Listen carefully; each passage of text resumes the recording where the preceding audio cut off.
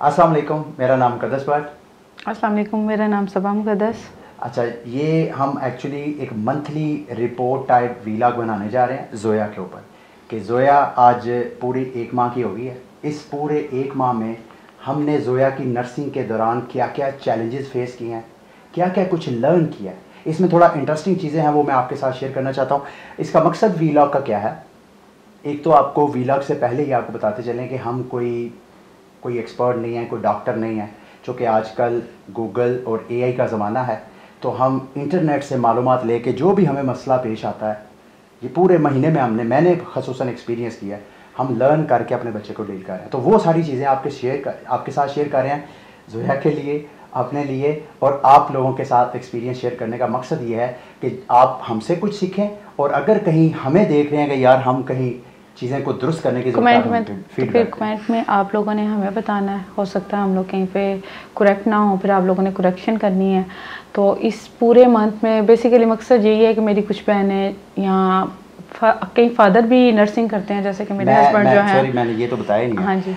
आ, ये first time ऐसे हो रहा है तीन हमारे बच्चे हैं आपके साथ ऑलरेडी तारुफ होगा पिछले वीलाग में आपने देखा होगा।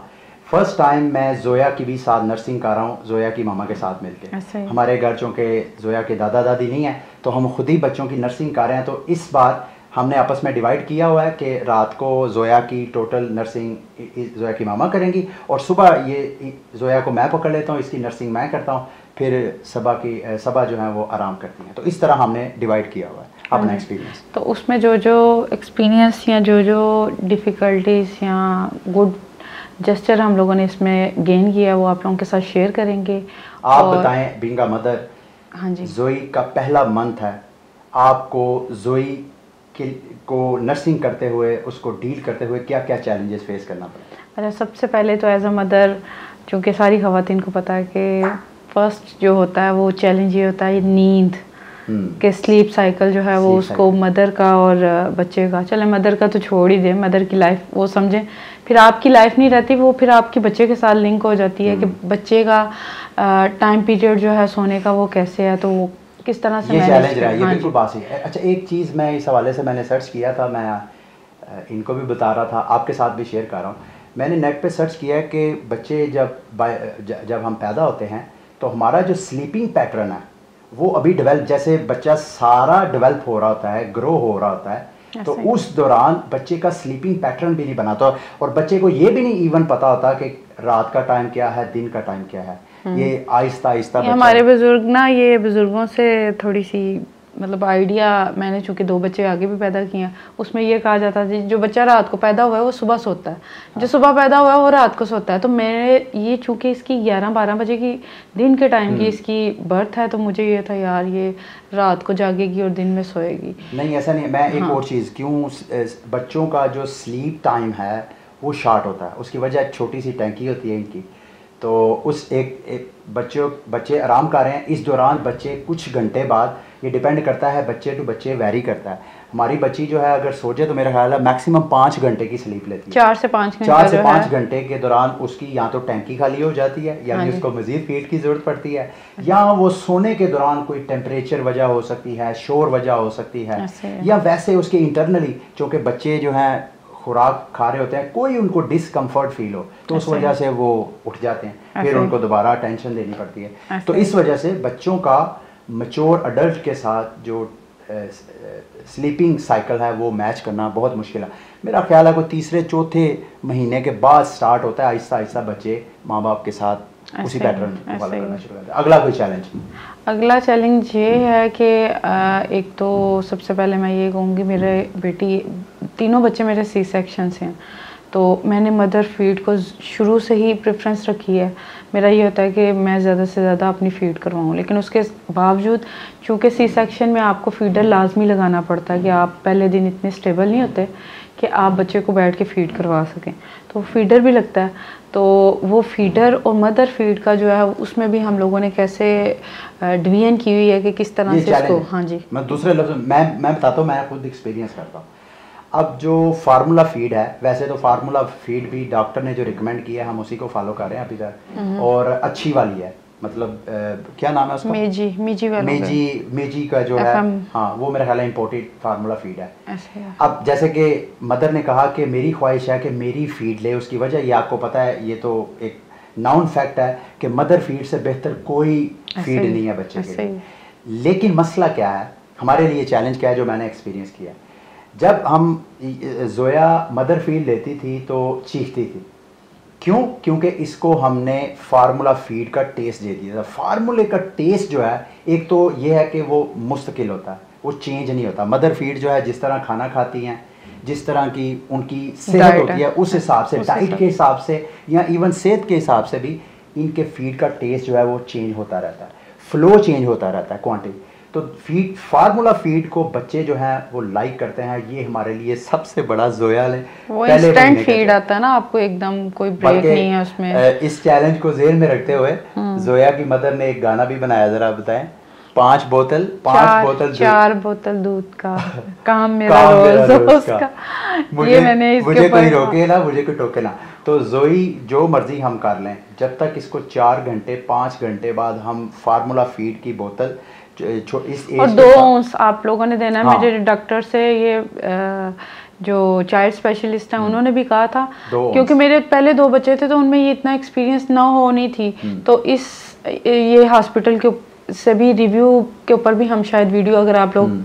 कमेंट में लिखेंगे तो हम आपको वो भी फीडबैक देंगे वहाँ से हमने बहुत लर्न किया है। हम्म। तो उन बच्चों के टाइम दो जो बच्चे थे उनमें ये होता था कि बच्चे को भूख लगती थी तो हम मेरी अम्मी जो है वो फीडर पे फीडर देना शुरू कर देती हम्म। थी लेकिन इधर यहाँ पे उन्होंने हमें सजेस्ट किया है कि ये फार्मूला मिल्क जो होता है ये बच्चों को डाइजेस्ट करना बहुत डिफ़िकल्ट होता। है आप लोगों ने कम अज़ कम इसमें दो घंटे का टाइम लाजमी रखना है ये नहीं कि फ़ीड दो हाँ नहीं दो तीन घंटे तीन घंटे का टाइम और एक और इंटरेस्टिंग चीज़। दो घंटे बहुत है।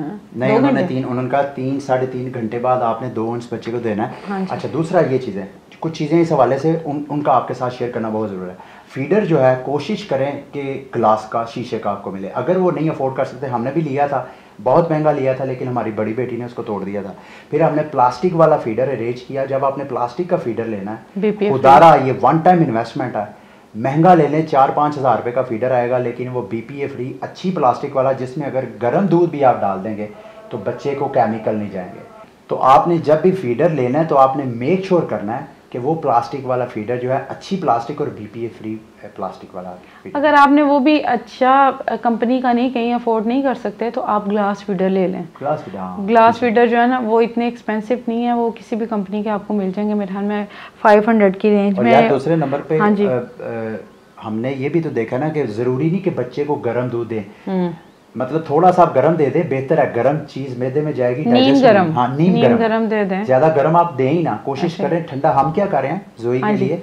एक यहाँ पे मुझे एक बात याद आई है कि मैं जब पहले छिले थे तो मेरे बच्चों को मेरी जो मदर हैं वो इलायची वाला पानी जो था वो गर्म करके थर्मस में डाल देती थी। और फिर उसके अंदर मैं फार्मूला जो पाउडर है वो हम ऐड करते थे और वो बनाते थे। वो कहती थी ये पानी जो है ना ज़रा हल्का हो जाता है। और बच्चे को हजम करता है और गैस की प्रॉब्लम नहीं। तो मैंने भी यही कंटिन्यू कर दिया। इन्होंने जब सर्च किया तो उसमें बताया गया कि ये बच्चे के लिए हाईली डेंजरस है।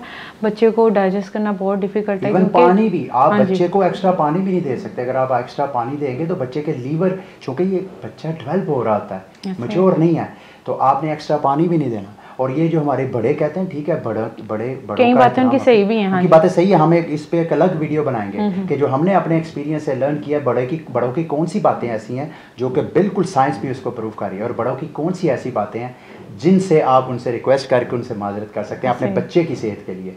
उनकी नीयत का मसला नहीं है इल्म का मसला है नॉलेज का मसला है। तो ये वो उसमें ये भी प्रॉब्लम आ सकती है ना हर बच्चे का डाइजेस्ट डाइजेस्ट करने का जो वो प्रोसीजर है वो डिफरेंट भी हो सकता है। कई बच्चे हमारे बच्चे के हाँ, साथ है। अच्छा आप अपना मैं मैं एक्सपीरियंस शेयर करता हूँ। जोई की जो पुप्पो थी वो इसको इलायची वाले पानी दालचीनी भी इन्होंने डलवाई इस है। तरह डाल के तो वो बनाती थी। तो जोई एक दिन में दो दो तीन तीन बार स्टूल करती थी। यानी पोटी करती थी अगर जिसको स्टूल का नहीं पता।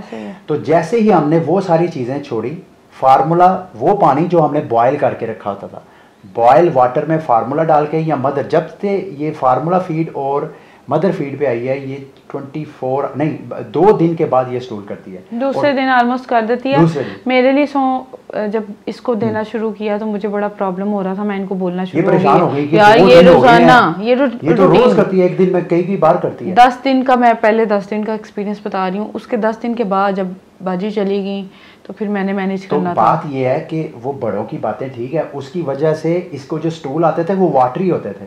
अब जब वो स्टूल करती है करती दो दिन बाद है और होता ही। सॉलिड है सॉलिड है और हमें ऐसे फील होता है अगर कोई मसला हो तो अभी तक खुदा ना खासा है पहला महीना है एंडिंग मैं यहीं पे करूँगा।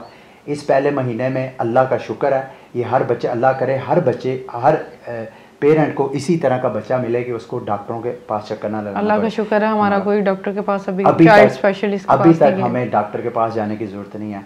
हम कोशिश कर रहे हैं जो जिस भी चीज़ से हम गुजरे हैं उसको खुद लर्न करें और बड़े ठंडे दिमाग से उसको डील करें और इसी वजह से ये वीडियो बनाने का मकसद भी यही है कि कुछ खातन हैं मदर्स हैं नहीं जा सकती। छिले में ये होता है कि जी भाई नहीं जाना। आजकल हाथों में मोबाइल होता है हाँ आप खुद गूगल करें। आप उसमें गूगल करें और अगर हमारी वीडियो से भी आप कुछ गेन कर सकें तो ये हमारे लिए बड़ा और अच्छा अपने एक्सपीरियंस भी शेयर करें। हमने कई ऐसे बातें की हैं जो कंट्रोवर्शियल हैं कि भाई बड़ो कहते हैं ये। अगर आप समझते हैं कि आपका एक्सपीरियंस अलग है क्योंकि हर बच्चा यूनिक है।